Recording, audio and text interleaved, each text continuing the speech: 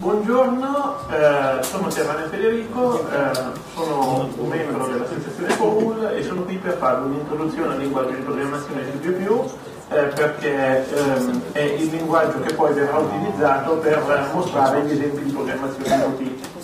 Qui al Politecnico non si insegna tra questi corsi di programmazione il, il, il C++, eh, io partirò eh, avendo come solo presupposto la conoscenza del C eh, questo perché oramai il, i linguaggi di programmazione oggetti eh, vengono insegnati al terzo anno, eh, mentre prima nell'altro ordinamento era al secondo anno, e quindi ehm, per rendere questa presentazione comprensibile anche a chi è al primo anno del Politecnico o al secondo anno, eh, darò come solo presupposto la conoscenza del linguaggio di programmazione C.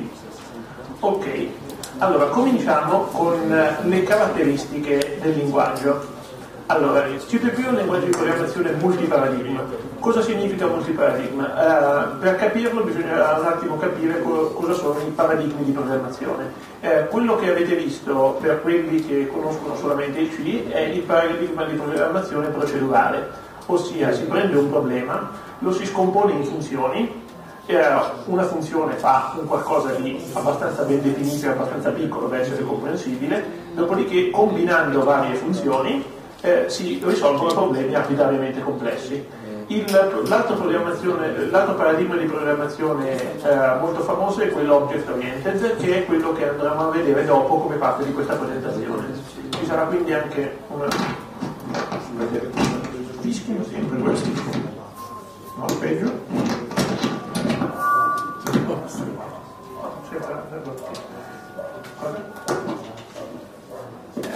questo?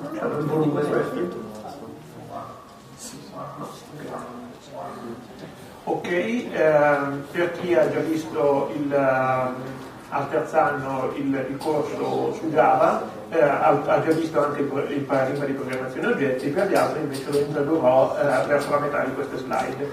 Altri paradigmi di programmazione sono quello metaprogrammativo in cui eh, si, eh, non si scrive direttamente il codice ma si scrivono delle istruzioni per così dire per, e fare in modo che il compilatore generi il codice per me, diciamo, eh, questo è un po' semplificato ovviamente. Eh, C++ è un linguaggio multiparadigma nel senso che supporta più di un paradigma di programmazione e i eh, principali paradigmi di programmazione che supporta il C++ sono quello object oriented, quello procedurale e quello metaprogrammativo. È un linguaggio di programmazione compilato, esattamente come il C, nel senso che il compilatore produce direttamente del codice macchina, eh, se siete su un, su un, computer come questo genera codice macchina per processori Intel x86, se siete su uno smartphone genera codice macchina per processori ARM, eh, non ci sono interpreti o virtual machine tra il linguaggio e l'esecuzione, contrariamente a Java che ha una virtual machine. I compilatori Java generano un bytecode che viene poi interpretato o, compilato just in time in una virtual machine.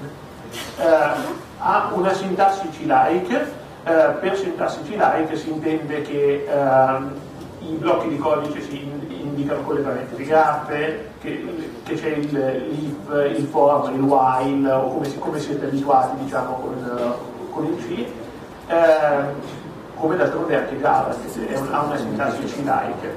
Eh, infatti deriva dal C ed è quasi pienamente retrocompatibile. Questo significa che potete prendere un programma in C compilarlo con un compilatore C++ e se non state utilizzando qualche superficie o qualcosa del genere, eh, il, il, codice C è anche codice C++. Di solito i casi in cui un programma in C non compila come programma C++ è quando utilizzate delle parole, per esempio degli identificatori delle variabili, che sono riservati in C++. Per esempio c'è, poiché il paradigma è object oriented, ci sono le classi, c'è la parola chiave class, che, per, che come struct in, in, C definisce una struct, class definisce una classe in C++, se in C avete, avete chiamato una variabile class, il, il, codice non compila come codice C++, diciamo, però a parte questi casi, il, il codice C è anche codice C++ compilatori e ambienti di sviluppo sono disponibili per la maggior parte delle architetture.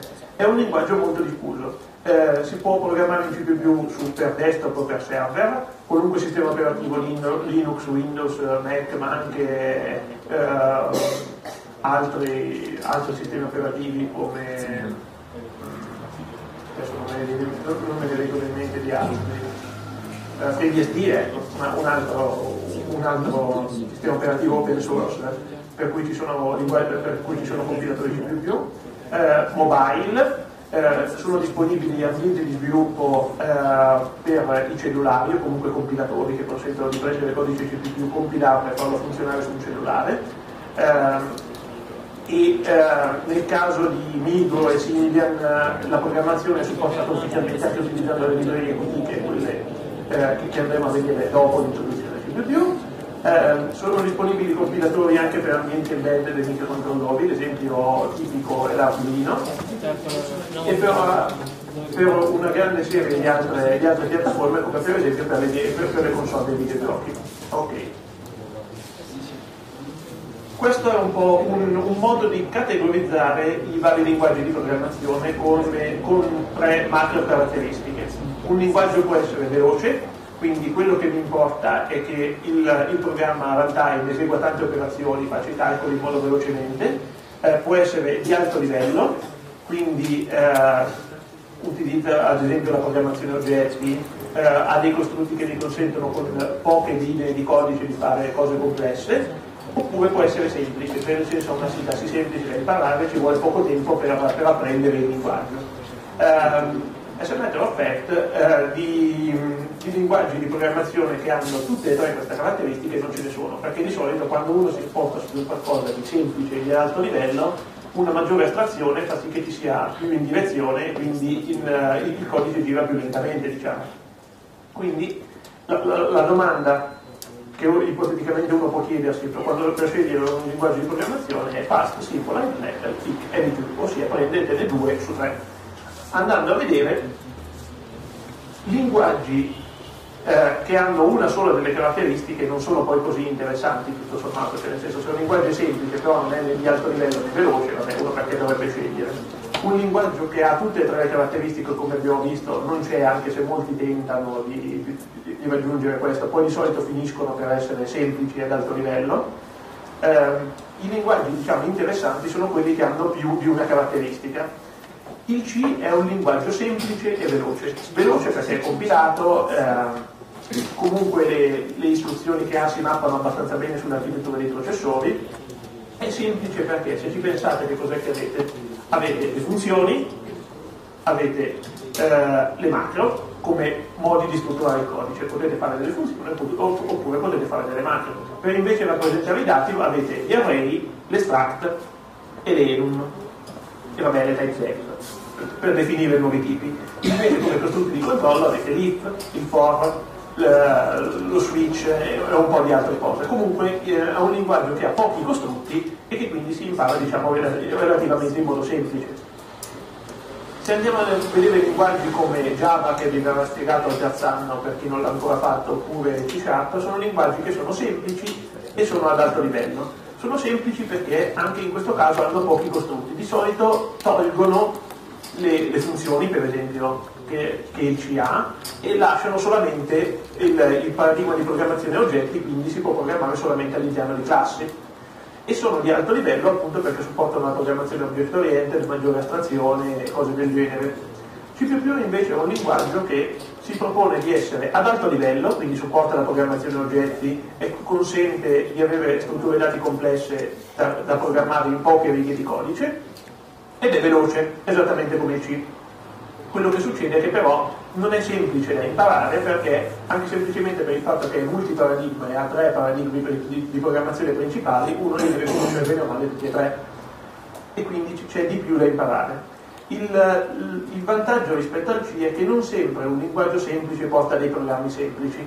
Per esempio, se in C dovete gestire delle strutture dati dinamiche, si finisce a fare delle liste a puntatori, ad esempio eh, solamente che se le deve scrivere il programmatore le liste e magari fa dei bug dopo si trova a debuggarle o qualcosa del genere. Invece in un linguaggio come C++ i tipi dati come le liste sono già disponibili, quindi è un linguaggio più difficile, nel senso che comunque uno deve impararsi anche la libreria, che è una libreria più estesa rispetto a quella del C, però può portare a programmi più semplici se, usati bene, se usato bene come linguaggio, pur rimanendo veloce.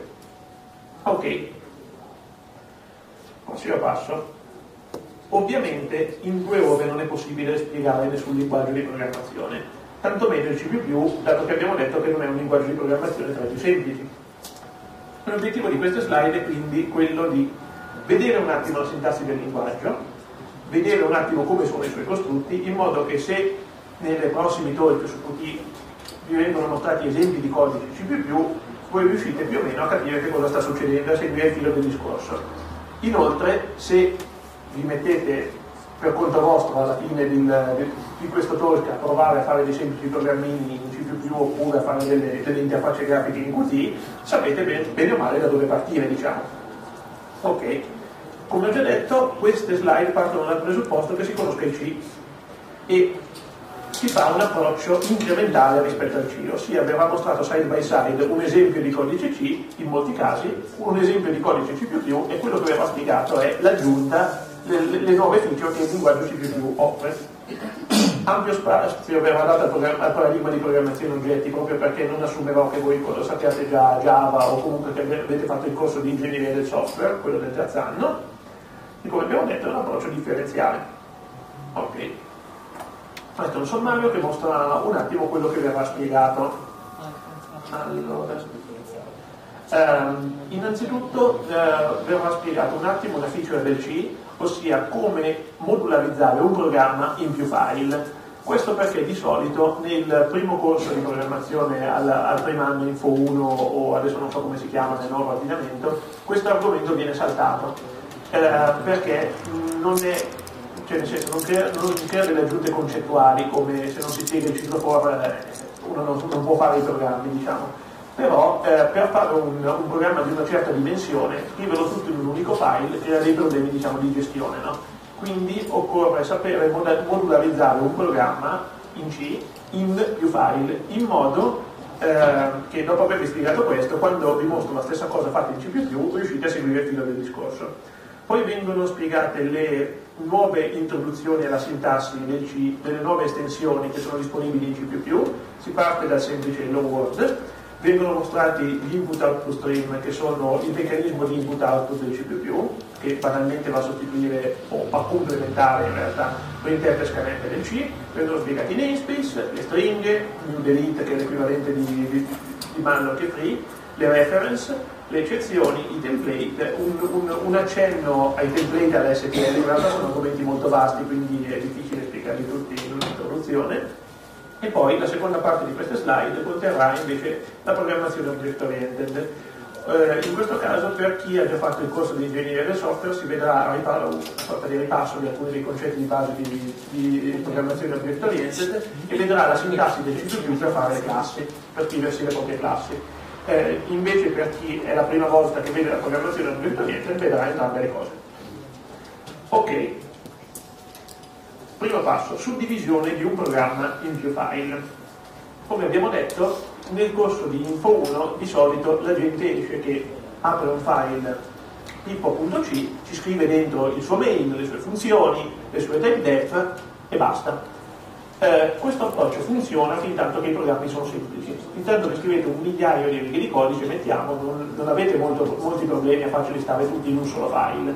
Però se avete dei programmi grossi e il, in, in, genere nel mondo del software i programmi possono diventare anche molto grossi, pensate che hanno il Linux o al, o al compilatore di CC, scrivere tutto in un unico file crea dei problemi. Innanzitutto problemi di comprensione, perché se avete un file che è grosso 100.000 righe di codice, se dovete saltare da una funzione all'altra non è che potete prendere la scroll bar eh, di, di, lato del vostro editor di testo e andare a cercare tra le 100.000 righe di codice dove si trovano le funzioni, anche CTRL F non è che, non è che aiuti molto in questo caso. Quello che succede è che un programma di grosse dimensioni di solito viene diviso in moduli logicamente, cioè nel senso se io sto scrivendo un sistema operativo, eh, ho un modulo per gestire la memoria, un modulo per gestire le periferiche, un modulo per gestire i processi o qualcosa del genere. Quindi quello che succede è che già logicamente c'è una suddivisione in moduli del codice, quello che fa implicitamente il programmatore nel suo modo di pensare, diciamo. Questa modularizzazione è bene che si manifesti fisicamente anche nel codice, ossia io scrivo in un file tutte le funzioni relative ad un modulo e dopodiché chiamo queste funzioni da un altro modulo del, del mio programma. Ok, Inoltre, dividere un progetto in più file riduce l'occupazione di memoria del compilatore, nel senso che quando io parto da un file e lo compilo, il compilatore, mentre me lo sta compilando, mi sta occupando una certa quantità di RAM. Di solito questa quantità di RAM cresce non linearmente con la dimensione del programma, cresce più che linearmente. Quindi significa che se prendete il, un, un, esempio, il compilatore di CC, che è a sua volta scritto in C, e se fosse scritto tutto in un solo file, io ho provato, cioè nel senso a compilarlo a sorgenti, quando uno lo prende, è un TRGZ, lo estrae, dopo averlo estratto sono 500 megabyte di soli file sorgenti. Se tutti questi 500 megabyte si trovassero in un solo file, probabilmente ci vorranno, che so, 64 GB di RAM al compilatore per compilarlo o qualcosa del genere, no? Invece, se, come infatti succede, il, un programma così complesso è diviso in tanti file, quello che succede è che il compilatore compila prima un file e quindi occupa un tot di memoria, poi il compilatore termina e viene, una, e viene eh, eseguita una nuova istanza del compilatore per compilare il secondo file e via dicendo. E l'occupazione di memoria uh, nel, tempo non supera mai un tot, dato dalla, dalla dimensione del, del, file più complesso, diciamo. Ok. Inoltre dividere un progetto di file eh, semplifica anche la, la, la scrittura di codice da parte di più persone eh, fin tanto che un programma è semplice di solito viene scritto da una sola persona o, comunque è possibile che sia scritto da una sola persona. Quando un, un programma diventa di complessità enorme, se ci, si mettesse una sola persona a scriverlo, eh, finirebbe tra vent'anni. Eh, quindi di solito i programmi, specie quelli complessi, vengono scritti da più persone contemporaneamente. Eh, dividere il, un programma in file è un modo semplice per, per dividere comunque anche i task tra le persone e nel caso in cui si utilizzi un sistema di version control tipo Git o qualcosa del genere che consente di gestire eh, i contributi di più programmatori su di una stessa base di codice, è più facile eh, evitare che ci siano conflitti, perché se tutto sta in un solo file e un programmatore sta scrivendo una funzione, un altro programmatore sta scrivendo una funzione, poi uno fa un commit in un sistema di version control, poi l'altro tenta di fare il commit, si trova che il file è stato modificato da quello di prima e quindi deve gestire il conflitto a mano. Di solito il, nei sistemi di version control, eh, se, se ci sono conflitti nello stesso file o comunque se sono conflitti complessi, cioè nel senso sono state modificate troppe righe di codice, la risoluzione del conflitto viene fatta a mano. Se invece sono su due file diversi non c'è problema. Ok, fin qui le motivazioni. Ma come si fa a scrivere un programma in C diviso in più file? Allora, innanzitutto compaiono due tipi di file, i file.c e i file.h. Finora siete stati abituati a scrivere solamente dei file.c. Solito scrivete il vostro main.c che contiene la funzione main, che contiene tutte le vostre altre funzioni e basta. Al massimo includete per esempio std.h per avere la printf, per esempio ma i file.h di solito non li scrivete voi. Quando si scompone un programma in, in più file, occorre scrivere entrambi i tipi di file. I .c sono semplicemente i file sorgente e si continua a fare quello che si faceva prima, cioè all'interno di un file sorgente si scrivono le funzioni, sia quelle chiamabili da qualunque file sorgente del progetto, quindi io scrivo una funzione in un file 1.c e dal mio main.c chiamo questa funzione che si trova in questo file, oppure funzioni chiamabili solo all'interno dei file dichiarate static. Se uno dichiara una funzione eh, come static, questa funzione sarà disponibile solamente dall'interno di questo file. Quindi se io da un altro file chiamo, uh, tento di chiamarlo, il compilatore mi dà un errore. Di solito questa, questa caratteristica di static non vi viene spiegata proprio perché eh, non vi viene mostrata la programmazione dei file eh, all'interno dei file, eh, dei file C si mettono comunque dichiarazioni di struct, enum, type def, mark, che però sono utilizzabili solamente all'interno di quel file lì. Perché, come andremo a vedere, le struct, le enum e le type def, per essere utilizzabili da più di un file, devono essere messi in un punto H, in modo che se io dentro il mio punto H dichiaro un struct e da più file C includo quel file.h, quello che succede è che quella struct è utilizzabile da tutti i file.c che includono questo file.h. Quindi se voi prendete una enum e la mettete all'interno di un file.c, automaticamente la potete usare solo lì. Se invece la mettete in un .h, la potete utilizzare in tutti i file che includono il .h. Appunto i file.h sono i file di tipo header e contengono i prototipi delle funzioni, dopo andremo a spiegare cos'è un prototipo di funzione, chiamabile da qualunque file sorgente del progetto, e come dicevo prima le dichiarazioni delle struct, delle enum, delle template, delle major che sono chiamabili da qualunque file sorgente che includa questo H. Allora, fin qui era tutto molto teorico, adesso vediamo il primo esempio di codice. Allora, questo è un programma molto semplice, semplicemente un esempio che fa una printf, non non è nulla di che, eh, è in C ed è diviso in tre file. Abbiamo un file main.c, di solito per convenzione il file che contiene il main si chiama main, ma in realtà cioè, non, siete obbligati a farlo. Eh, poi abbiamo un file test.h e poi abbiamo un file test.c. Quello che succede è che dentro il file test.c viene dichiarata una funzione, testFunc, che prende una struct come parametro e che fa printf e stampa due campi di una struct, A e B. Ok, poiché ha bisogno della printf include stdio.h e inoltre include test.h. Nel file test.h invece c'è la dichiarazione della struct, perché come abbiamo detto una struct per essere visibile da più file deve essere messa in un punto H. La struct test contiene i suoi campi A e B compatibilmente con il fatto che la funzione testFunc acceda ad A e B della struct. E inoltre contiene il prototipo della funzione testFunc. Il prototipo è la stessa riga iniziale della funzione, quindi con il valore di ritorno e con i parametri, ma al posto di esserci il corpo della funzione, che inizia con una graffa e si chiude con una graffa, c'è un punto e virgola. Lo scopo di, dei prototipi di funzione è di consentire al compilatore di controllare che sto passando i parametri giusti alle funzioni. Ossia il compilatore va a controllare che questa dichiarazione di test bank nel punto H sia compatibile con la dichiarazione del punto C, ossia prenda lo, st lo stesso tipo di parametro, ok? In entrambi i casi prende una struct test, e che ritorni lo stesso valore, in questo caso vabbè, ritorna void. Ma va anche a controllare che nel main, quando chiamo fun la funzione testbank, gli passo un parametro che sia compatibile con il tipo, ossia gli devo passare una, un, una struct di tipo T. Ok. Dopodiché nel file main.c, come abbiamo detto, chiamo questa funzione testbank. Come faccio a chiamare questa funzione? Innanzitutto devo includere test.h in questo modo il compilatore conosce che esiste una funzione testbank, conosce che questa funzione prende una struct test come parametro e conosce anche la struct test perché si trova il test.h.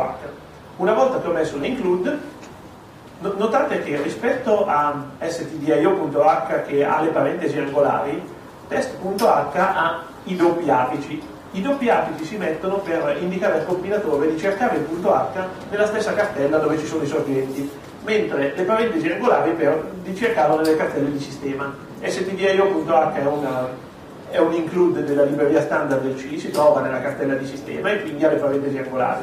Invece test.h, questi tre file qua si troveranno tutti nella stessa cartella e quindi abbiamo i doppi apici. Una volta che ho messo include test.h posso creare istanze dell'extract che sono definite nel punto H, quindi nel main creo un'istanza un per la test posso accedere ai campi e il compilatore mi controlla che, che, la, che la struct abbia veramente dei campi che si chiamano A e B. Come fa? Poiché io ho incluso test.h, conosce come è fatta la struct e quindi può fare il controllo. E sempre per incluso test.h posso chiamare le funzioni che sono nel punto H. Questo è il modo diciamo, di modularizzare un programma C. Idealmente in un programma C avrete n più 1 file C ed n file.h il main ovviamente non ha un main.h perché normalmente contiene solamente il main e il main chiama funzione. Ok. Come si compila un programma del genere?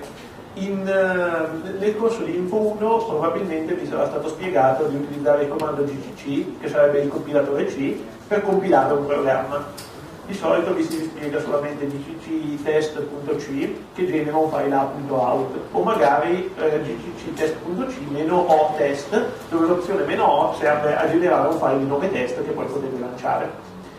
Come si compila un programma invece diviso in più file? Bisogna chiamare una volta il compilatore per ogni file C presente nel programma, nel, nel progetto, ok? Quindi qua abbiamo due file C, main.c e test.c si compila con gcc meno 2 meno c test main.c e meno 2 meno c test.c. Ok, il meno c è un'opzione che dice al compilatore di non generare direttamente un binario, perché normalmente se passassi il c main.c quello mi genera un binario direttamente. Invece genera un file oggetto, un file.o ok, che poi viene utilizzato per l'ultima fase che è la fase di linking in cui tutti i file.o vengono uniti per ottenere un solo programma eseguibile. L'opzione meno 2 invece ha a che fare con le performance, attiva le ottimizzazioni del compilatore, che è un'altra cosa che di solito non si spiega eh, ai corsi di informatica, che è un po' un problema perché in realtà se compilate senza passare al meno 2 il compilatore non ottimizza e quindi il codice va più lento di quello che, di quello che uno vorrebbe. Una volta eseguiti questi due comandi abbiamo main.o e test.o e l'ultima fase è la fase di linking che viene fatta sempre chiamando il GTC meno o prog che sarebbe il nome del programma che viene eseguito e gli si passano i due .o generati prima.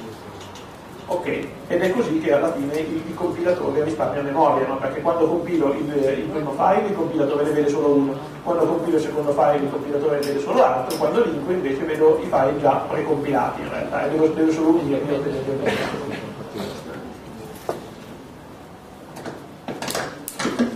ok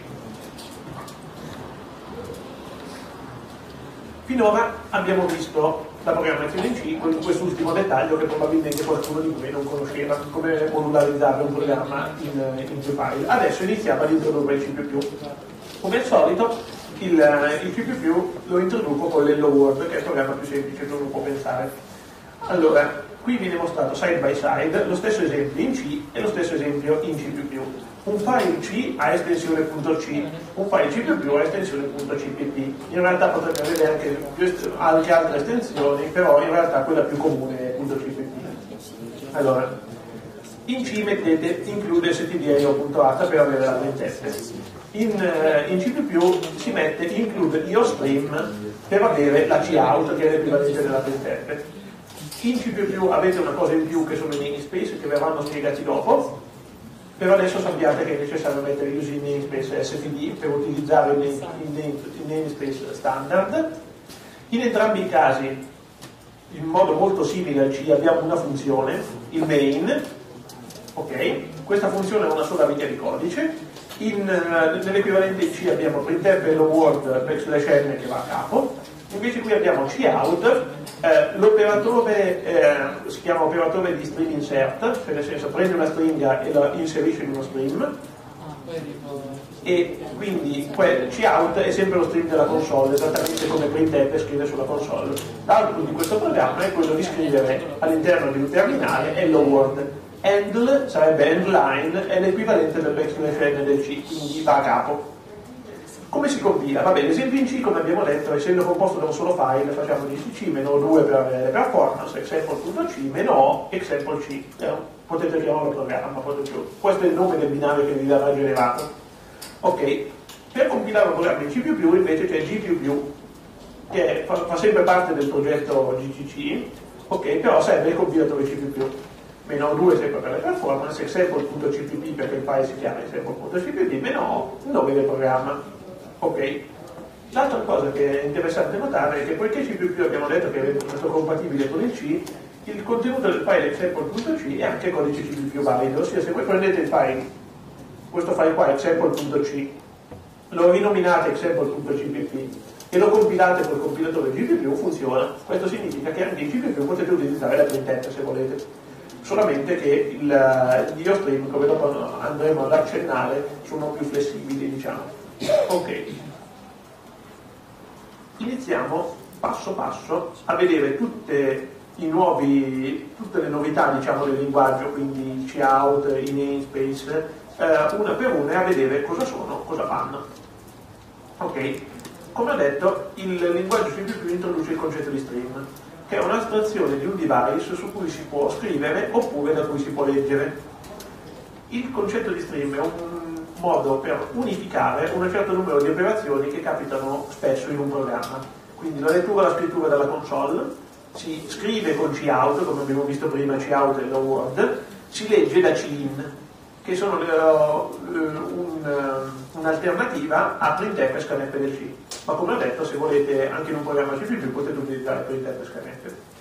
I file Uh, ifstream ed offstream sono ifstream è un file da cui voglio leggere input file stream, offstream, output file stream è un file dove voglio scrivere e sostituisce la open f close del C. La memoria, anche la memoria può essere vista come uno stream per effettuare delle operazioni su delle stringhe. Per esempio, in, uh, conoscerete molto probabilmente la sprintf e la scanf del C che consentono di prendere una, una stringa, prendere un intero e scrivere l'intero all'interno della stringa. Questo si può fare in C++ sempre utilizzando il concetto di stream, utilizzando lo string stream. Ok, quindi l'utilizzo degli stream è per scrivere in uno stream delle stringhe interi float si utilizza l'operatore stream insert. L'operatore stream insert sono praticamente due maggiori scritti uno dopo l'altro. Ok, l'esempio prima ce l'avete qua, avete cout e hello world, prende il contenuto di hello world e lo mette all'interno dello stream. Per andare a capo abbiamo detto si usa handle. Per leggere interi float o qualcosa si utilizza l'operatore stream extract, che è esattamente uguale allo stream insert ma girato dall'altro lato e si scrive praticamente con due maggiori messi dopo, ma gli altri erano due minori, scusate. Invece, per leggere una linea di testo si utilizza una funzione che è la funzione getLine. Adesso vediamo un esempio dove vengono utilizzati questi operatori. Allora, qui abbiamo una include string sempre, using namespace svd sempre, poi abbiamo un main dove richiamiamo un intero, un float e una string.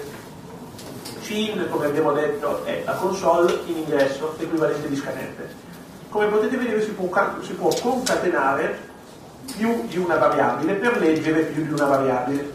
In questo caso cin in f significa che il, quando lanciate il programma questo parte con una console, rimane lì in attesa che digitate prima un intero, poi digitate un invio oppure uno spazio, poi digitate un float e poi digitate invio. Una volta che avete digitato entrambi i numeri e avete digitato invio, il programma continua. GetLine invece è una funzione che prende da uno o una riga di testo intera fino al, fino al ritorno a capo e lo memorizza in una stringa. Quindi qui abbiamo una stringa S, getLine C in S, ferma il programma in attesa che io digito del testo e poi premo invio. Mentre cout, come abbiamo visto prima, eh, consente di scrivere sulla console eh, o delle stringhe statiche oppure anche direttamente delle variabili. Come nel caso di Cin si può concatenare il numero di volte che si vuole l'operatore di stream eh, insert in modo da poter stampare più dati uno di fianco all'altro. L'endline non è neanche detto che debba essere alla fine, cioè nel senso dopo l'endline posso andare avanti con un altro operatore di stream insert e inserirci un altro, un altro dato, diciamo. Contrariamente a C, il tipo di dato viene non viene specificato e il compilatore lo, lo, lo, capisce da solo, diciamo. Cioè se io faccio eh, cout i ed i è un intero, me lo stampa come intero. Se io faccio cout f ed f è un float, me lo stampa di default con 6 cifre decimali. Se io stampo una stringa, me lo stampa come stringa, semplicemente, cioè nel senso, è una stringa viene stampata a schermo. Invece in C bisogna specificare per esempio per 100 D per gli interi, per 100 F per i float o per 100 S per le stringhe, in una forma string diciamo. Invece qui si mettono uno dopo l'altro con l'operatore string insert i numeri e cioè, le, le variabili queste vengono stampate in automatico. Ok, il primo passo erano gli stream, adesso i namespace. Abbiamo visto nei programmi prima che c'era using namespace std, cos'è questo using namespace? Std. Allora, i namespace servono a risolvere il problema dei conflitti dei nomi. Quando si va in un programma grosso è possibile che due moduli diversi dichiarino una funzione che ha lo stesso nome, che ha gli stessi parametri o qualcosa del genere. In un programma in C, quando si arriva a compilare il programma, il compilatore dice questo non va bene perché avevi dichiarato due volte la funzione con lo stesso nome. Ok, in C++ invece è possibile avere più funzioni con lo stesso nome e con lo stesso numero di parametri purché si trovino in due namespace diversi. Un namespace si dichiara semplicemente eh, no, ok, andiamo qua. Un namespace si dichiara con namespace un nome del namespace, aperta la graffa, all'interno ci si può mettere quello che si vuole, poi si chiude la graffa. All'interno di un namespace appunto si può mettere quello che si vuole, ossia dichiarazioni di funzioni, classi, agent, type depth. Ok, invece per accedere ad un elemento in un namespace occorre aggiungere il prefisso che è il nome del namespace e poi due punti, due punti. Quindi se torniamo indietro, qui dentro il namespace num1 ho dentro la funzione f, nel main faccio num1, due punti, due punti f e questo mi chiama la funzione f che si trova nel namespace num1, ossia questa. Mentre se chiamo num2, due punti, due punti f, questo mi chiama la funzione f che si trova nell'altro namespace. Ok, L'altra alternativa è aggiungere al file corrente un using namespace e il nome del namespace. A questo punto si possono chiamare le funzioni di un, di un namespace direttamente senza metterci il prefisso nome del namespace due punti due punti. Le funzioni e le classi della libreria standard del C++ si trovano nel, nel namespace std ed è quindi per questo che se torniamo in su abbiamo un using namespace std e poi utilizziamo cin e cout. In realtà cin e cout sono namespace std, quindi se io non metto using namespace std dovrei mettere std due punti due punti cin e il codice funzionerebbe lo stesso. Per brevità, di solito si può utilizzare un using namespace std per dire io utilizzo il namespace standard e quindi posso usare direttamente cin e cout senza metterci std due punti due punti ogni volta. È considerata però cattiva pratica di programmazione mettere un using namespace in un punto H. Questo perché se, come avete visto un, uh, un attimo fa, eh, quando si scompone un programma lo si scompone in più, eh, in, un più, in un più file, anche in C++ è così esattamente come in C, se io metto dentro un punto H using namespace std, succede che in tutti i file in cui eh, andrò ad includere questo punto H, mi becco anche il using namespace std. E alcuni programmatori non vogliono avere un using namespace std eh, perché vogliono poter dichiarare una loro funzione, ad esempio, che si chiama cin. E a questo punto il codice non funzionerebbe più perché se uno mette un using namespace il, eh, il compilatore non sa più quale delle due funzioni. Se, se, io, se, se, noi prendiamo l'esempio qui, qua non potrei utilizzare un using namespace num1 perché ho due funzioni che hanno lo stesso nome. Okay? Quindi bisogna stare attenti ad utilizzare il using namespace. In genere i programmatori non eh, ridanno lo stesso nome delle funzioni del namespace std e quindi è comodo e si può utilizzarlo, però non è detto e quindi è meglio non mettere il using namespace std nel punto h o, o qualunque altro using namespace in generale. Ok, questi sono i namespace. Adesso passiamo alle stringhe. Nell'esempio prima avevamo visto come si utilizza la getLine per leggere una stringa. Forse non ci avete fatto caso, però per dichiarare una stringa in C++ si usa string, quindi c'è un tipo dati stringa. In C in realtà il tipo dati stringa non esiste, cioè nel senso la stringa viene emulata come un vettore di caratteri. Infatti questo è un esempio di, di, di programma che fa delle semplici manipolazioni sulle stringhe in C, include stringhiero.h, include string.h, dichiara due stringhe, ma in realtà sono due vettori di 1024 caratteri. Dopodiché fa una string copy in A yellow, poi fa una string cut, quindi concatena al, al contenuto precedente della stringa una nuova stringa word, poi fa una string copy di B in A, eh, scusate, di A in B, eh, quindi mette hello world che è il contenuto di A in B e poi stampa B. Questo è un, un, un programma scritto in modo stupido per, per, mostrare degli esempi di manipolazione delle stringhe in C. L'equivalente manipolazione delle stringhe in C++ invece si fa così. Allora le stringhe si dichiarano come stringhe, quindi abbiamo stringa B. L'assegnamento delle stringhe si fa semplicemente con l'operatore uguale se voi in C dovete assegnare il valore 5 ad un intero, ad una variabile intera di tipo i, fate i uguale 5. Se invece lo dovete fare con le stringhe, in C dovete fare string copy a hello world. In eh, C++ invece si può riprendere ad utilizzare l'operatore uguale anche per le stringhe. Per fare il concatenamento invece si utilizza l'operatore più o più uguale il, se voi fate A più B e A e B sono stringhe, viene preso il contenuto della stringa A, viene concatenato alla stringa B e il risultato viene messo per esempio in una stringa C, se fate C uguale A più B.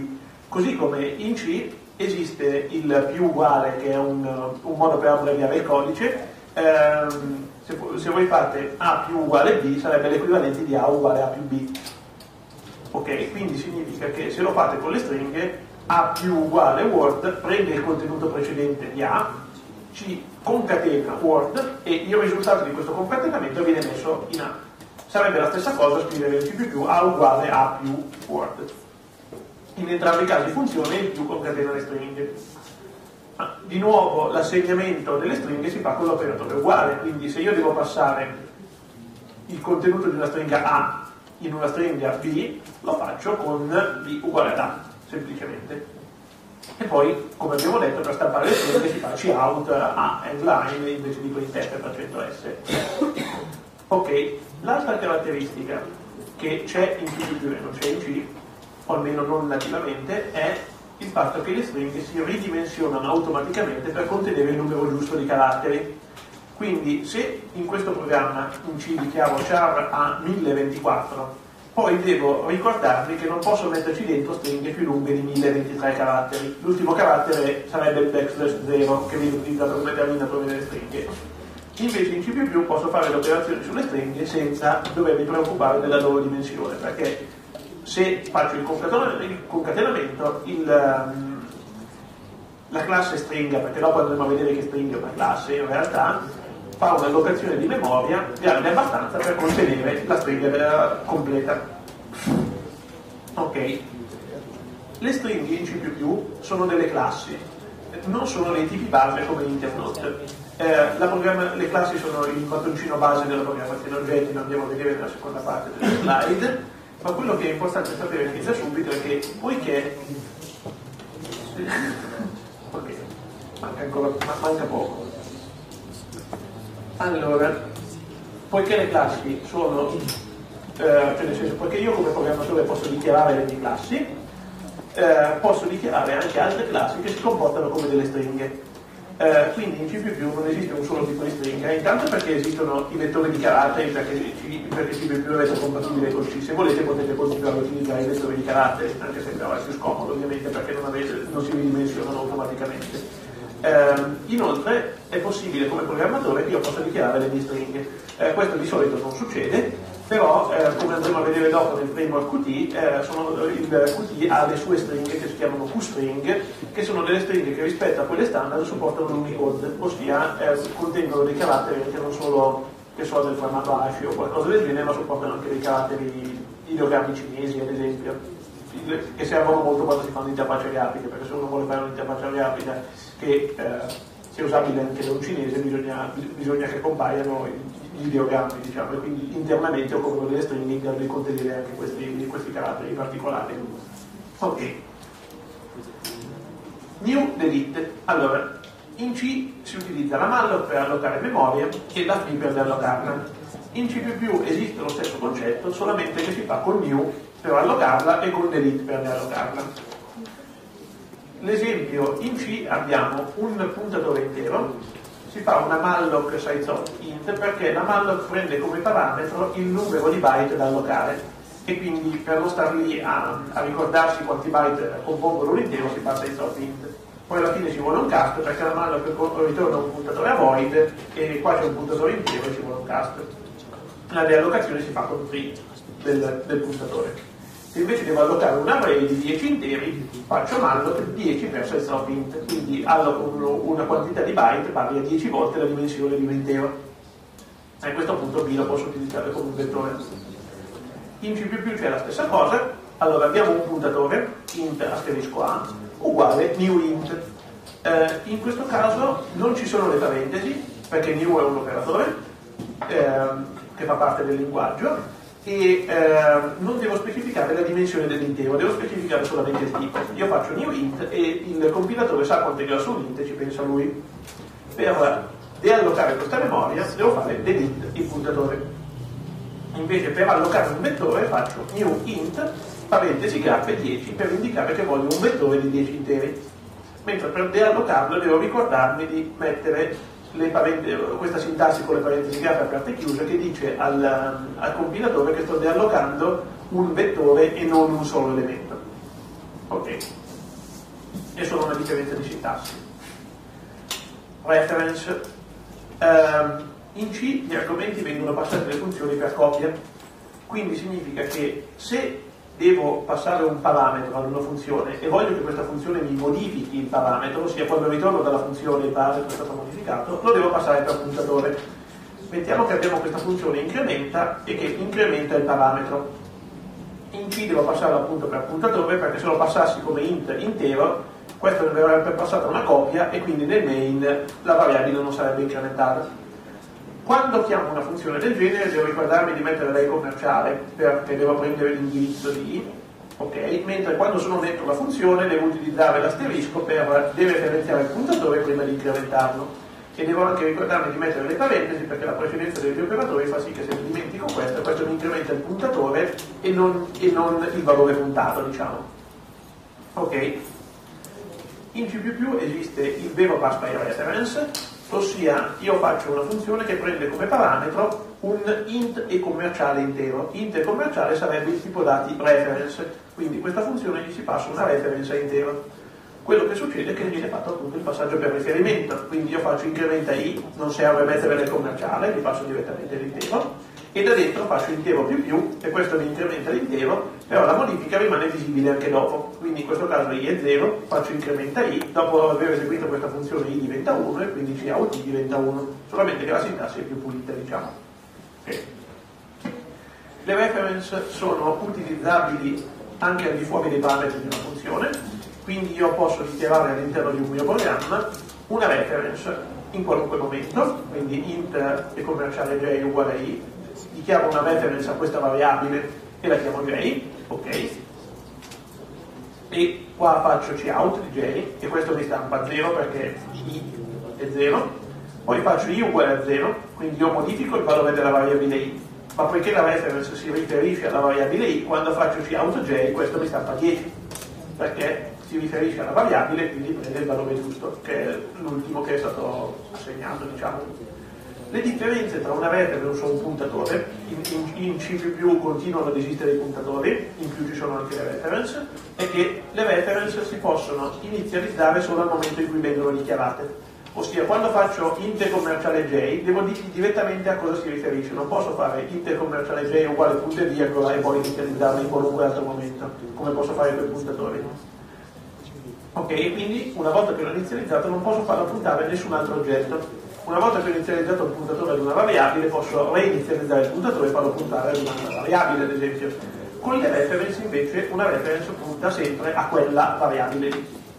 E poiché quando inizializzo una reference deve puntare per forza ad una variabile valida non esistono reference null. Quindi una reference è sempre valida. Questo è anche comodo perché se torniamo all'esempio di prima qui si passa un puntatore in teoria questa funzione dovrebbe controllare che il puntatore non sia null, perché qualcuno potrebbe trollare questa funzione passandogli un puntatore null e questo deve referenzierebbe null che farebbe un crash del programma. Invece questo non può succedere nell'esempio in C++ perché una reference deve puntare sempre a qualcosa di valido. Okay? Eccezioni. Um, ehm, IC non ha dei costrutti del linguaggio specifici per gestire gli errori di solito quindi una funzione per gestire un codice di errore, per gestire una condizione di errore ritorna un codice di errore, cioè nel se voi fate una funzione che ritorna un intero e mettete che ritorna 0 quando va tutto bene e ritorna meno 1 quando qualcosa è andato storto ad esempio, no? E questo viene fatto anche dalle funzioni di libreria standard. Eh, un altro esempio di, di, funzione che ritorna un codice di errore è la malloc. Eh, vi avranno insegnato in info 1 che se malloc non riesce ad allocare la memoria ritorna null. Quindi significa che voi dopo aver fatto la malloc dovreste cercare sempre che, malloc, che il valore di ritorno non sia null e nel caso può stampare un messaggio di errore e terminare il programma. Però è facile dimenticarsene, specie quando uno è di fretta e sta scrivendo nel codice. E questo appunto questo è uno dei problemi, no? Un altro esempio è printf ritorna un numero negativo in caso di errore. Ma c'è qualcuno che controlla veramente dopo aver fatto ogni printf che il codice ritorni, che non ritorni un numero negativo? Di solito no, nella maggior parte dei programmi che andate a vedere è fatto printf e basta. Nel caso in cui c'è un errore, l'errore viene ignorato. Perché viene fatto questo? Perché se effettivamente volesse, un programmatore volesse mettersi d'impegno e controllare tutti i codici di errore, sarebbe costretto a scrivere molte più righe di codice rispetto ad un programma che non fa il check di ogni singolo errore, diciamo. Per risolvere questo problema in C++ esiste un costrutto che sono le eccezioni, che consentono di separare la parte di eh, codice che tratta il caso in cui va tutto bene da quella in cui c'è un errore. Adesso andiamo a vedere un esempio, questo è un pochino più lungo, che utilizza le eccezioni. Allora, qui abbiamo un esempio di gestione degli errori in C. Abbiamo una funzione G che prende un intero e ritorna un intero. Ok, questa funzione è una tabella di tre valori e ritorna, prende l'indice i, prende il, il, il, parametro i come un indice per scegliere quale dei tre valori ritornare. Se gli viene passato un valore che non è compreso tra 0 e 2, ritorna meno 1 come codice di errore. Nell'altro caso invece ritorna il, il, valore, cioè nel senso uno dei tre a seconda del parametro i, il parametro i viene preso come indice, come detto. Poi abbiamo una funzione f che prende un intero e ritorna un intero che prima di tutto fa result uguale gd, quindi chiama la funzione g e poi deve controllare se il risultato è maggiore di 0 o minore di 0, perché se è minore di 0 è un codice di errore e in questo caso propaga il codice di errore, cioè nel senso in caso di errore, nel caso in cui il result sia minore di 0, ritorna anche lei un numero minore di 0 per, per indicare che c'è stato un errore. Nel caso in cui invece il risultato è maggiore di 0, stampa il risultato e poi ritorna a 0 per dire che va tutto bene. Nel main viene fatta una scanetta, quindi si chiede all'utente di inserire un numero e poi viene chiamata fd. Anche qui occorre fare controllo degli errori. Nel caso in cui fd ritorna un numero negativo, stampa errore. In entrambi i casi, quindi, se si vuole controllare l'errore, sono più le righe di codice relative alla gestione degli errori che tutto, diciamo. L'equivalente invece in C++ utilizzando le eccezioni si fa utilizzando due nuovi costrutti. Uno, il throw, e poi il blocco try catch che abbiamo qua. Allora, qui abbiamo una funzione g che fa esattamente la stessa cosa di prima, solamente che nel caso in cui l'indice sta fuori dai bound di questa array, invece di ritornare un codice di errore fa una throw di un, un tipo range error che contiene una stringa index out of bounds. Quindi, oltre a poter lanciare una condizione di errore, si può anche eh, dare delle informazioni riguardo all'errore sotto forma di stringa, che di solito è comodo perché è comodo perché comunque si, si, danno delle informazioni più significative. Nella funzione f non è più necessario fare nessun controllo d'errore, ossia viene chiamata direttamente g nel caso in cui la, la funzione ritorna non succede niente, eh, ossia il, il, valore di ritorno g viene stampato come risultato nella cout. Nel caso in cui succede un errore, la throw fa sì che questa funzione ritorni con un'eccezione e anche se non c'è un esplicito controllo qua del, dell'errore, il fatto che questa funzione chiamata ritorna con un'eccezione fa sì che anche questa funzione chiamante ritorni con un'eccezione perché? Perché non c'è un blocco try catch quindi un'eccezione è un qualcosa che si propaga di funzione in funzione fino a quando non trova un blocco try catch ok? Nel main abbiamo invece un blocco try catch dove abbiamo try, i cini che è l'equivalente di scanette, e poi chiamano la funzione f. Nel caso in cui la, la funzione f non, non, ritorna con un'eccezione, a questo punto il main ritorna, il, il, contenuto del blocco catch non viene mai eseguito. Nel caso in cui invece la, qualunque istruzione all'interno del blocco try ritorna con un'eccezione, in questo caso f, eh, si passa al blocco catch eh, il blocco catch eh, in questo caso viene eseguito appunto il contenuto del, del, del blocco catch. Viene presa l'eccezione exception, eh, qua c'è un errore questo dovrebbe essere una exception ok? E viene stampato e.what e sarebbe l'eccezione ha un metodo dopo andiamo a vedere la programmazione oggetti scopriamo che cos'è un metodo eh, che praticamente in realtà viene stampata la stringa qui sopra. Quindi questo è un modo per eh, gestire gli errori eh, senza dover andare a controllare i codici di errore ad ogni singola funzione. Ok? Allora. Passiamo a una brevissima introduzione ai template. Allora, i template sono la feature di C++ che consente la metaprogrammazione. Eh, come abbiamo detto abbiamo tre, tre paradigmi di programmazione, procedurale come prima, infatti come come avete visto in questi esempi si dichiarano funzioni come si faceva in C, programmazione oggetti lo andiamo a vedere tra un attimo, e metaprogrammativo. Con i template è possibile scrivere codice, sia funzioni che classe, parametriche in uno o più tipi di dato e queste funzioni o queste classi possono essere istanziate quando vengono usati con un tipo di dato concreto. Questo può sembrare un po' difficile all'inizio perché probabilmente non siete abituati alla, alla, alla metaprogrammazione, ma vediamo un esempio per spiegare un attimo che cosa succede. Io qua sto dichiarando una funzione template max, ok, che si prende, allora, iniziamo a dire template type empty. Abbiamo detto che consente di scrivere una, del codice parametrico in uno o più tipi.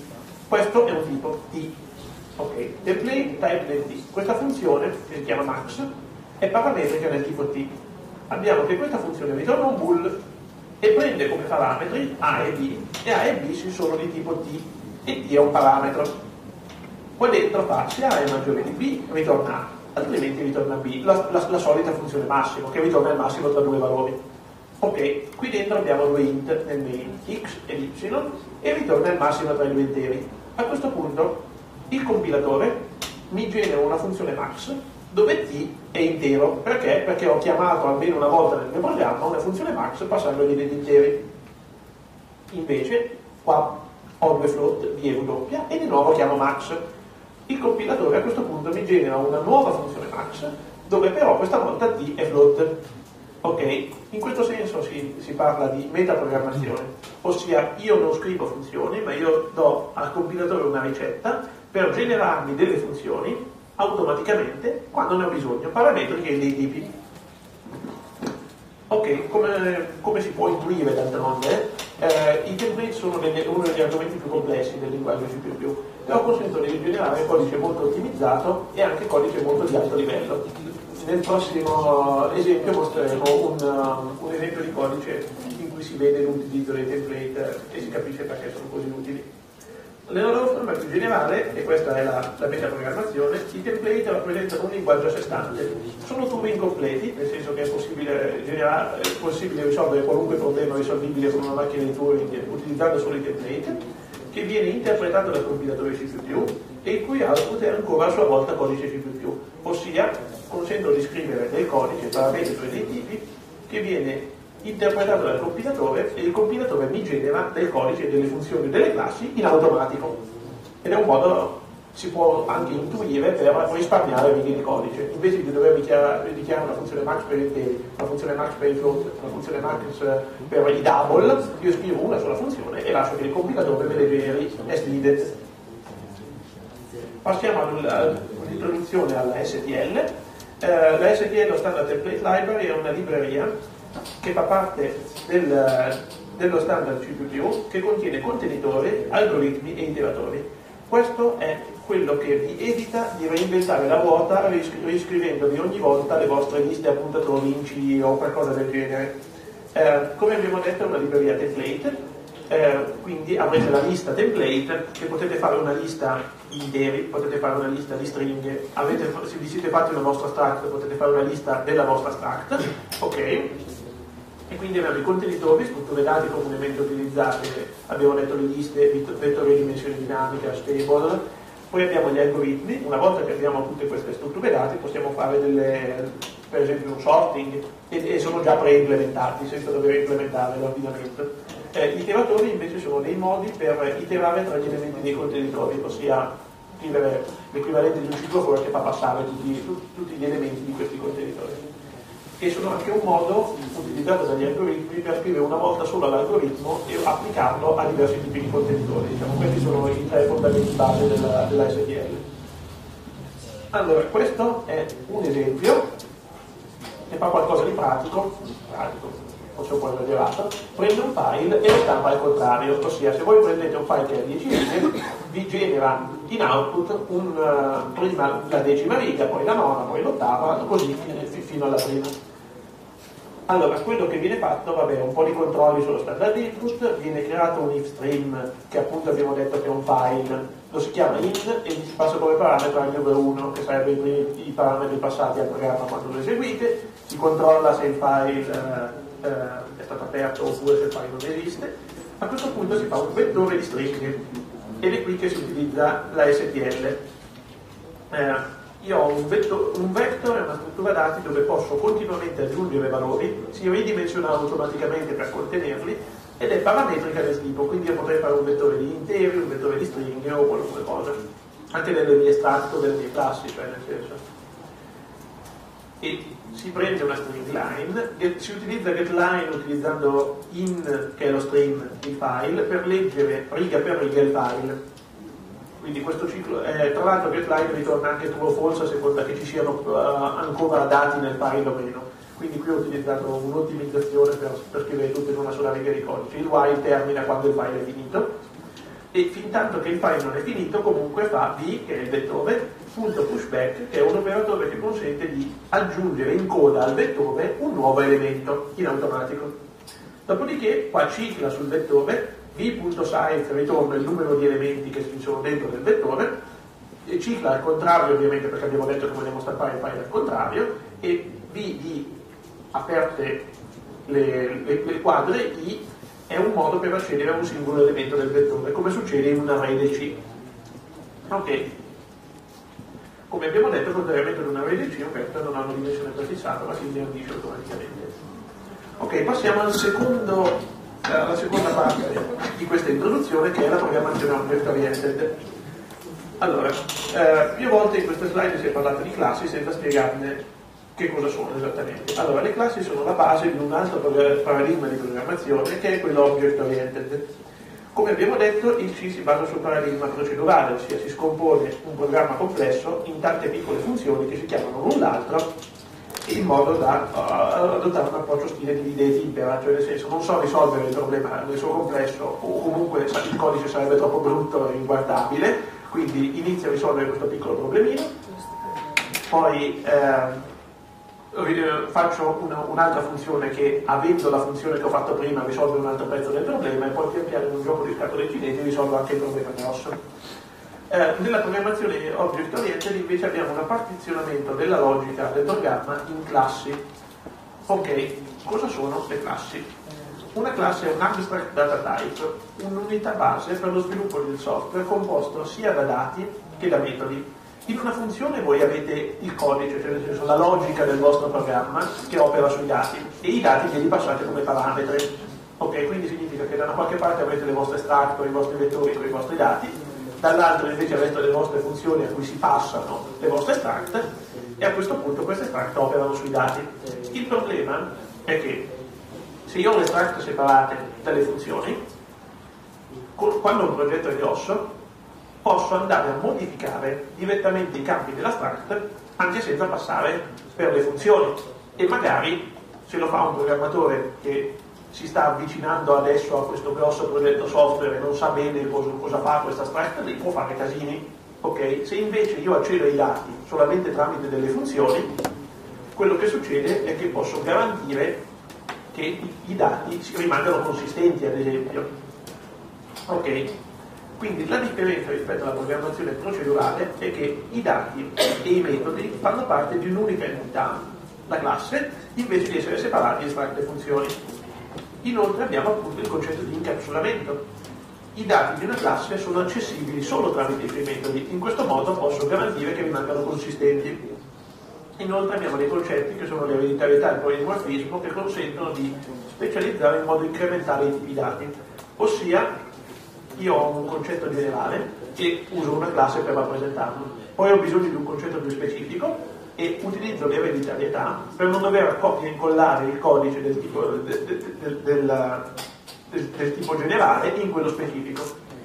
Ok, è un modo per fare l'uso del codice, essenzialmente è questo. Ok, in, questo, in questa breve introduzione le, le, le, classi verranno presentate con un approccio incrementale rispetto all'extract, perché assumo che conosciate l'extract del C e quindi sono una cosa più vicina ad una classe che, che conoscete. Allora, per, eh, per, mostrare come si passa da un extract ad una classe, partirò da un esempio eh, di un'applicazione che necessita di un buffer circolare di interi. Cos'è un buffer circolare? è una first in first out. Io aggiungo elementi ad un buffer circolare e poi li posso prelevare nell'ordine in cui li ho inseriti essenzialmente. Ok, una possibile implementazione in C è questa. in questo caso mostrano già il modulo senza il main che lo chiama. Quindi abbiamo un q.h e un q.c. Non mostro il main.c che lo chiama e questo è un, un modo, cioè un altro vantaggio diciamo, del, del modularizzare il, un programma in più file perché si può mostrare il, il codice che fa un'operazione indipendentemente da, da, chi la andrà a usare diciamo. Allora qui abbiamo un, in q.h abbiamo quattro funzioni. Init, put, get e done. Beh, è abbastanza intuitivo nel senso che per come abbiamo strutturato il problema dobbiamo inizializzare questo buffer circolare eh, specificando un buffer da quanti elementi? Mettiamo un buffer da 10 interi. Poi abbiamo put purge ok. Put che prende value e lo va a mettere nel buffer circolare e ritorna int il solito codice di errore eh, poi abbiamo get che prende un, un, elemento dal buffer circolare e lo eh, restituisce poiché il, il, valore di ritorno è sempre il codice di errore, lo restituisce nel primo parametro e poiché i parametri sono passati per coppia lo deve restituire per puntatore. Mentre done serve, una volta che ho finito di utilizzare il mio buffer circolare, le alloco la memoria. Se andiamo a vedere l'implementazione abbiamo un puntatore int data, che abbiamo utilizzato per il vettore che sta sotto al buffer circolare, max size, size, put pose e get pose allora, nell'init gli viene passata la dimensione, quindi io faccio data uguale malloc length per senza of int, alloco un certo numero di interi. Alla fine il mio buffer circolare lo implementerò con una regecy. Max size uguale length, ossia mi salvo in una variabile globale qui dentro max size eh, quanto è grosso il buffer e inizializzo questi due campi, pose, eh, expose e size a 0 quando faccio put, innanzitutto controllo se size è uguale a max size, perché se ho riempito il buffer, ho fatto un buffer di 10 interi, ho fatto 10 put, alla undicesima put e non c'è più spazio per metterci l'altro dato. Quindi ritorno meno 1 un codice di errore.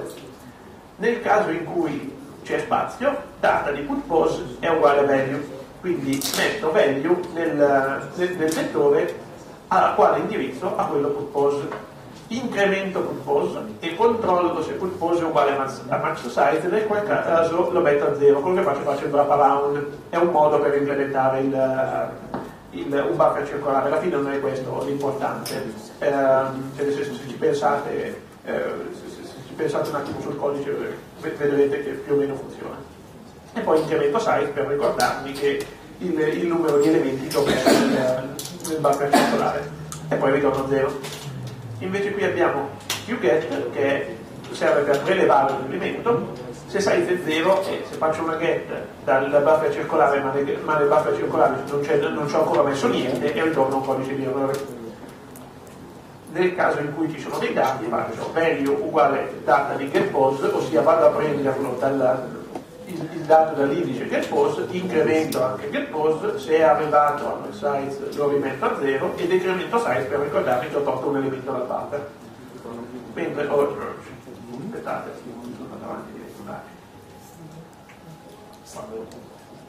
mentre la qdone come abbiamo detto serve a riallocare la memoria per il buffer circolare e fa una print basta. Ok L'implementazione, come potete vedere, è fatta da una copia di file H in modo da superare il modulo da preso del programma. Questa è già una buona pratica di programmazione. Eh, l'implementazione fa uso di variabili globali, queste, perché devo salvare nello stato tra le varie chiamate a funzione. Se, se, io faccio qinit e poi faccio qput, qput dovrà andare a mettere il, uh, il dato nel, nella zona di memoria che è allocato chiamando la funzione prima e quindi mi serve una variabile globale per ricordarmi dov'è questa zona di memoria che ho allocato. Ora, immaginiamo che questo funziona, però immaginiamo che nel mio programma ho bisogno di più di un buffer circolare, perché una parte del mio programma ne ha bisogno di uno, una parte ne ha bisogno di un altro. Ora, ovviamente, copia e incollare questi due file e fare q2 init, q2 put, q2 get, q2 done non è una buona idea, perché se ho bisogno di un terzo buffer circolare devo di nuovo copia e incollare il codice. Quello che devo fare è rendere questo eh, codice parametrico. Quindi come lo faccio? Al posto di, di, avere tutte le mie variabili globali, faccio una struct. Qui dentro faccio una struct che contiene le stesse variabili globali di prima. Quindi data, size, size, compose, e expose. A questo punto le varie quattro funzioni di prima si prendono un parametro in più che è l'abstract. In questo modo, se io ho bisogno di tre eh, buffer circolari, se ho bisogno di tre buffer circolari, li chiamo tre istanze dell'abstract e chiamo tre volte QInit.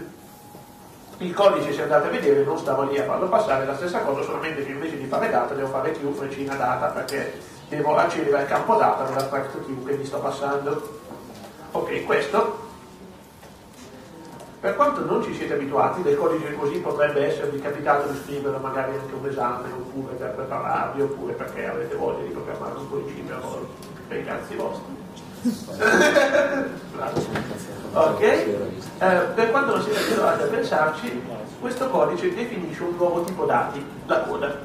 Eh, se ci pensate, facendo il confronto tra un tipo dati nativo del compilatore, l'int, e la coda che avete definito voi, eh, dell'int se ne possono creare più istanze. Dentro il mio main faccio int A, int B, int C. Anche qui posso fare Q, struct QA, struct QB, struct QC. Ok? Sia la coda che l'intero hanno delle operazioni applicabili. Nel caso di int le operazioni sono quelle definite dal compilatore più o meno per diviso, poi abbiamo gli shift, gli end, bit a bit, insomma ce ne sono tante e nel caso invece della coda le abbiamo definite noi e sono init, put, get e run ok e le ha definite appunto il programmatore che ha scritto, la, che ha scritto la stack code la coda è un tipo dato astratto ossia una classe allora è un tipo dato astratto ossia una classe no perché i dati l'abstract queue sono separati dalle operazioni. Abbiamo da un lato la stack e dal lato le funzioni e quindi non esiste incapsulamento. Significa che io da dentro il mio main posso istanziare stack coda e andare a mettere mano alle variabili data, alle variabili max size, put pose, get pose, eh, potrei anche farmi delle mie funzioni che accendono questi dati, no? Quindi succede che eh, se qualcosa non funziona nella coda e il mio programma va in flash, dove vado a vedere cosa c'è che non va? potrebbe essere nelle funzioni init, uh, uh, done, put e get, oppure potrebbe essere in qualunque altra parte del mio programma, proprio perché il programma, qualunque parte del programma può accedere direttamente ai campi dell'abstract e può fare casini. Ok? Quindi si passa da CS++ introducendo la classe coda. Allora, nell'esempio prima non ci stanno tutti e due eh, in una pagina, quindi non ve li mostro side by side, ricordatevi un attimo come era prima. Eh, il, il P2.h che sarebbe questo, con l'abstract e le quattro funzioni, invece andiamo giù qua e abbiamo la classe coda. Quindi abbiamo q3.cpp e q3.h. Ora, la sintassi non è cambiata di molto. Invece di avere struct q abbiamo class q. Si apre con la graffa, si chiude con la graffa, c'è sempre il punto e virgola come prima nell'extract in C. Eh, Qui dentro abbiamo i dati, data, max size, size, pose, get pose. I dati si trovano nella classe, così come prima si trovavano nell'abstract, solamente che sono private due punti qua. Le funzioni per accedere ai dati non sono più delle funzioni dichiarate sotto, ma si trovano anche loro dentro la classe e hanno un public due punti. Questo già dovrebbe farvi intuire che eh, public significa che si possa accedere dappertutto, private significa no. Ok, Inoltre, come vedete, init, put, get e done, contrariamente a prima, in cui bisognava sempre passargli come primo parametro la struct, struct q, struct q, struct q, qui non è più necessario, perché poiché sia i dati che le funzioni sono all'interno della stessa classe, eh, la classe ha un modo per accedere direttamente ai suoi dati senza che, gli devo, senza che gli devo passarlo ogni volta come primo parametro. Ora, quando invece si va a vedere l'implementazione, in realtà le funzioni sono rimaste uguali. L'unica cosa è che per dire che questo è un metodo init della classe Q, devo mettere Q due punti due punti init, che è la sintassi il nome della classe, due punti due punti nome del metodo. Quindi in realtà, anche se nella forma sono rimaste più o meno uguali, in realtà queste, questi quattro sono diventati quattro metodi di una classe.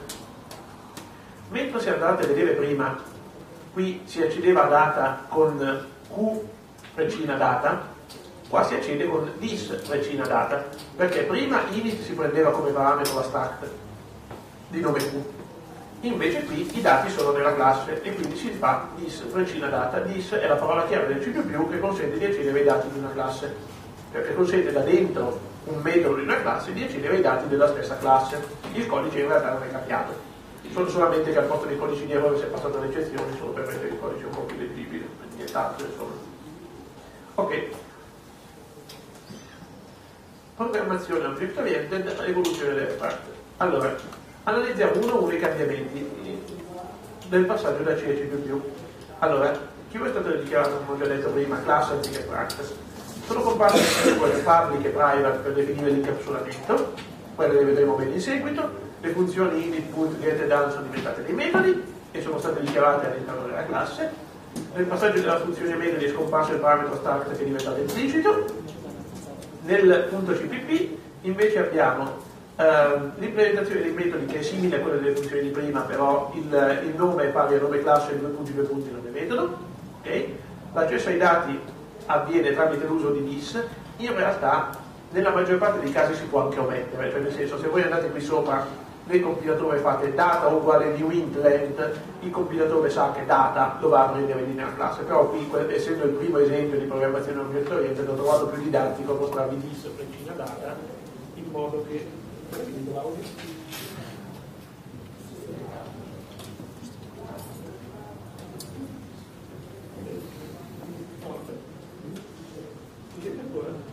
No.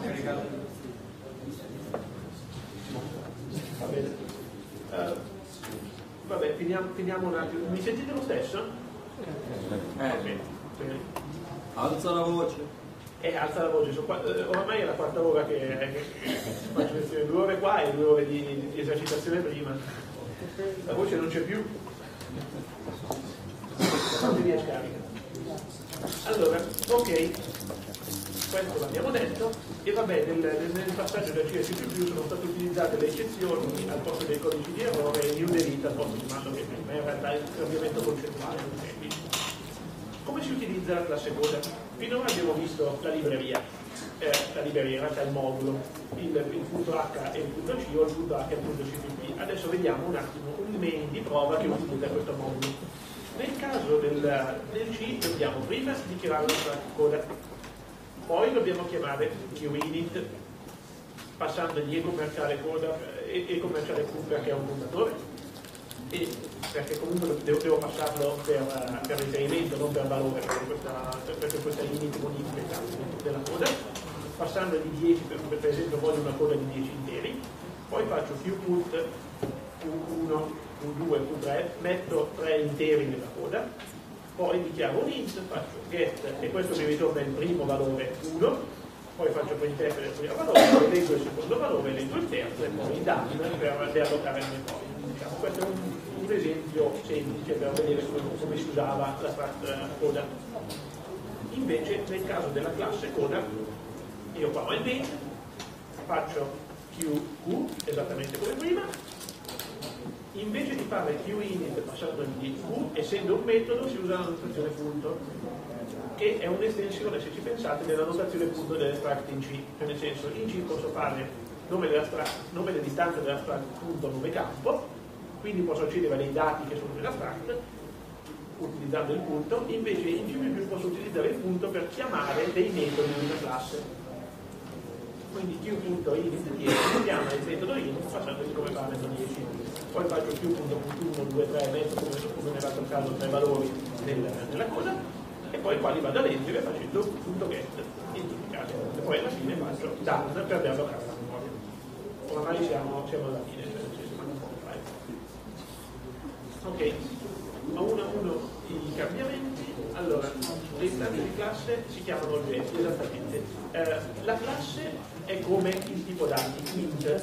Una volta che io ho un int posso crearne tante istanze di int, ossia posso fare dentro un argomento, posso fare int A, int B, int C. Anche qui la classe è Q, l'istanza è la minuscola qui. Anche qui potrei crearmene tante quante ne voglio, posso fare Q1, Q2, Q3, ok? E le varie istanze delle classi si chiamano oggetti, quindi Q è una classe, mentre la Q qua è un oggetto. Ok, le istanze eh, si, si, richiamano con nome classe spazio come oggetto, q spazio q punto virgola. Ok, la sintassi come ho detto è uguale a quella per dichiarare una variabile come int. I metodi si chiamano come nome oggetto, punto nome q.init 10. Okay. Costruttori e distruttori. Allora, finora il codice si mappa uno a uno tra il C e il C++. Eh, il problema che non è risolvibile nella versione C è che quando io ho, creo un'istanza dell'abstract Q, poi devo ricordarmi di fare QInit. Se accedo direttamente alla, alla coda senza prima aver fatto init, cosa succede? Variabile, la variabile data dentro non sarà inizializzata, quindi tutto dove punterà chissà che cosa, e il mio programma andrà in crash. Quindi significa che devo ricordarmi di fare due cose, dichiarare l'abstract e inizializzarla. Ok, come abbiamo detto c'è lo stesso problema per la versione C e per adesso nella versione C++, perché se andiamo a vedere qui sopra faccio qq e q.init, ok? In C++ però c'è un modo per evitare questo problema, ossia per fare contemporaneamente l'istanziazione di, di, di, un oggetto e la sua inizializzazione. E questo si fa tramite i costruttori e gli istruttori. Allora, questa è la stessa classe coda di prima a cui è stato aggiunto un costruttore o un istruttore. Se andate a vedere nella classe è scomparso il metodo init ed è scomparso il metodo done. Al suo posto è arrivato un metodo che ha lo stesso nome della classe, e che si prende come parametro il, la, la, dimensione della coda, alla fine svolge la stessa funzione del metodo init e un, e un, un metodo che si chiama come il nome della coda, ma con una tilde prima, che se andate a vedere l'implementazione faceva fa st la stessa cosa che faceva il DAN prima, ossia dealloca la memoria. Qui abbiamo più più e qua abbiamo più not più. Ok, questo è lo stesso codice di prima di init e questo è lo stesso codice di prima di DAN. Altra cosa interessante è che se andate a vedere questo e questo non ritornano nessun parametro. Questa è una funzione e ritorna void. Se una funzione non ritorna niente, ritorna void. Questa funzione ritorna qualcosa, ritorna niente. Invece questo metodo e questo metodo sono gli unici due metodi di una classe che non, che non possono ritornare niente. Okay? Questo sarebbe il costruttore e questo è il distruttore. Cosa succede? Allora, un costruttore è un metodo il cui nome è uguale a quello della classe. Prendere dei parametri, ma non ha mai un valore di ritorno, nemmeno void una classe può avere più di un costruttore con diverso numero tipo di parametri. L'implementazione del costruttore viene chiamata automaticamente, e qui sta la differenza rispetto alla versione di prima, ogni volta che si crea un'istanza di un oggetto. Quindi significa che il programmatore può mettere dentro del, dentro del costruttore il codice per assicurarsi che l'oggetto sia inizializzato. E il programmatore che poi crea le istanze dell'oggetto non può dimenticarsene perché questo, questo metodo viene chiamato automaticamente dal compilatore. All'opposto invece il distruttore è un metodo il cui nome è uguale al nome della classe preceduto da una tilde. Il metodo non prende parametri e non ritorna nulla nemmeno void. Una classe può avere al più un distruttore, quindi o non ce ha nessuno o ne ha uno, non può averne due, e l'implementazione, qua ci dovrebbe essere scritto distruttore, l'implementazione del distruttore viene chiamata automaticamente quando si distrugge un'istanza di un oggetto quindi il programmatore può inserire il codice per garantire la finalizzazione delle risorse. Cosa significa che per esempio di allocare della memoria in modo da non creare memory leak o qualcosa del genere. Le cose importanti sono chiamati automaticamente. Se andiamo a vedere l'esempio, eh, questo è l'esempio di prima, è un po' più in colla dell'esempio di prima, qq.iris.get questo invece è l'esempio con il costruttore di sito. Faccio qq e gli passo direttamente la tonde 10 quello che succede è che in questa riga qua crea un'istanza della classe Q e chiama direttamente il costruttore passandogli 10 come parametro, poi put put e qua non c'è proprio niente, qua ci sono un commento per dire quando ritorna il main, prima che ritorni il main viene chiamato da solo il distruttore e quindi, questo, e quindi non c'è un memory leak diciamo, perché viene deallocata la memoria della coda. Ok, andiamo a vedere un attimo una cosa. Finora abbiamo allocato gli oggetti sullo stack, esattamente come si farebbe con un intero in una, eh, in, in una funzione. No? Eh, per chi conosce Java, eh, in realtà gli oggetti in Java si possono allocare solo nel invece in eh, C++ si possono allocare sia sullo stack che, che. Nell'esempio che abbiamo fatto prima allocati sullo stack. Infatti chi magari conosce Java si dice oh, come sto creando un'istanza di oggetto senza usare new Ok, questo perché fin tanto che eh, alloco gli oggetti sullo stato, semplicemente faccio, così come faccio int i, faccio più un punto e virgola e io ho un'istanza di questo oggetto. Se invece lo voglio allocare nell'int, così come eh, allocavo un intero con eh, puntatore int i uguale new int, posso fare puntatore oggetto o uguale new oggetto. E poi alla fine devo ricordarmi di fare dell'int però. Ok, la stessa cosa appunto si può fare con gli oggetti. E qui abbiamo l'esempio in cui la classe Q è allocata. Sullo stack, quindi così come avevo fatto int qui faccio QQ e qui non faccio niente perché il, così come quando istanzio un int, quando ritorno dalla funzione non fare niente. E anche se non faccio niente l'istruttore viene chiamato. Nel caso in cui voglio allocare una coda sull'ip faccio puntatore a coda q uguale u coda. E alla fine devo ricordarmi di fare la delete eh, esattamente come devo allocare una variabile allocata nell'ip in generale. Il, il, fatto è che quando io faccio una delete viene anche chiamato un istruttore in modo che quando io dealloco questa memoria viene chiamata una funzione della classe coda che a sua volta deallocherà la sua memoria, perché la coda come abbiamo visto contiene dell'altra memoria Ok, ultima cosa, public e private.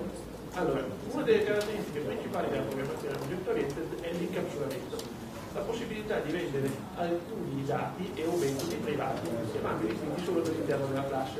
Questo è importante perché allora, se il resto del programma non può accedere a parti della classe, queste parti possono in futuro essere modificate senza che il codice sia accorga. Questo è un modo per consentire di scrivere il codice e ottimizzarlo pian piano senza dover cambiare tutto un grosso programma. Perché se io ho un programma di dimensioni arbitrarie, ho la mia classe coda e le usate in varie parti del programma e faccio dei cambiamenti alla classe coda, ma li faccio solo alla parte privata, senza, che, senza modificare la parte pubblica, senza modificare la semantica della, della parte pubblica, io la modifica è limitata solo a questa parte del programma. Tutte le altre parti che andranno ad utilizzare la classe coda non si accorgeranno della differenza. Se, se, la modifica che faccio è un'ottimizzazione, il programma va più veloce dove dovete modificare solo una piccola parte. Inoltre, se il resto del codice non può accedere a parti della classe, non può commettere errori nell'uso di questi dati.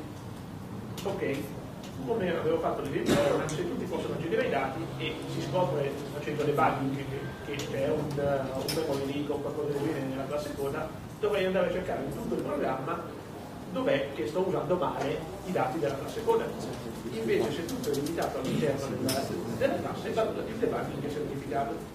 Ci mette a disposizione le keyword public e private per definire quale parte di una classe è e quale parte allora, sia metodi che dati possono essere resi public, però è considerata buona pratica di programmazione rendere public solo i metodi, perché se io rendo public i dati, eh, poi ci posso fare quello che voglio e di solito eh, se io rendo public un metodo, il metodo accede ai dati, però dentro c'è del codice i check, che controlla che ci sto accedendo bene ai dati. Se io invece rendo public i dati non posso fare nessun check. Ok, quindi se io ho un dato privato e, e ho bisogno di accederci dal, dal chiamante si fa questa modalità di programmazione. Questo, diciamo, pratica di programmazione della programmazione oriented di fare getter e setter. Cos'è un getter e un setter? Eh, sono due metodi, uno get, vediamo che è un dato privato int i, metto get i, che è un, metodo che mi torna i, e set i, che è un metodo che assegna i, diciamo. Okay? Questo è un esempio di una classe più qualunque che ha public un metodo pubblico e un dato pubblico, private, un metodo privato e un dato privato io istanzio una classe chiamo il metodo pubblico e va bene, accedo al dato pubblico e va bene, chiamo il metodo privato, il compilatore mi dà errore, accedo al metodo privato e il compilatore mi dà errore. Ai metodi e ai dati privati ci posso accedere solo da dentro i metodi della classe. Per esempio metodo 1, che è un metodo pubblico della classe, potrebbe accedere a var 2 e potrebbe chiamare metodo 2 perché sono tutti all'interno della stessa classe. Private quindi significa è accessibile solo da dentro la classe il main non fa parte della classe Q, quindi non può accedere a metodo 2 e a var 2. Ok, per ragioni di tempo, che oramai è finito, ecco, molte altre caratteristiche del C++ sono state saltate. L'ereditarietà delle classi, l'ereditarietà multipla, tanto la vedrete in, in ingegneria del software, protected perché si aggiunge a parte che private, polimorfismo e virtual function sono eh, modi per chiamare il modo dinamico delle funzioni quando ho delle ereditarietà classe virtuale pure altre cose, passaggio per con una generale di contenuto e una serie di altre cose, diciamo. Ok, per cui una trattazione più eshaustiva dei template per SQL, perché questo lo siamo esempio. Allora, per chi è interessato all'argomento, per chi vuole scrivere dei programmi, quindi eh, comunque ha bisogno di un qualcosa di più di questa. Eh, allora, eh, esistono molti libri. Eh, uno è il di che si trova a questo URL, dopo le slide verranno rese pubbliche sul sito del forum, quindi potete andare a vedere questo URL, è disponibile anche come free download online. Invece esiste anche questo sito c++.com che mostra molte, si spiega molto bene soprattutto la storia standard, quindi se state scrivendo nel codice avete dei dubbi andate su questo sito. Ok, io ho finito.